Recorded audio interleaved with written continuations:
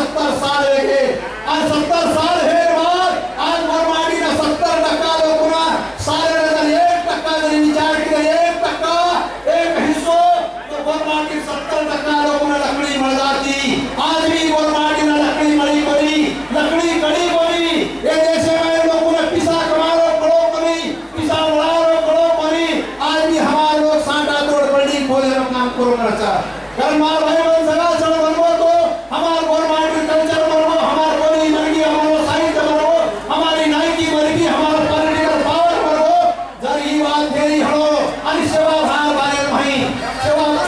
这吧安